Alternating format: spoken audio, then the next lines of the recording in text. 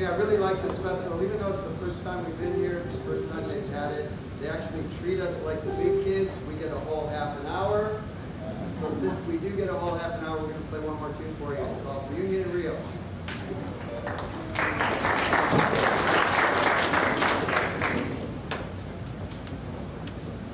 By the way, on the last piece, Brendan was a trumpet soloist.